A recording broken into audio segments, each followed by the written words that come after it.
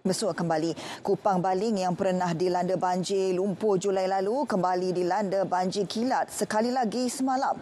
Sebuah pusat pemindahan sementara PPS dibuka di Surau Itifakiyah, Kampung Iboi, Kupang. 15 keluarga berlindung di PPS berkenaan.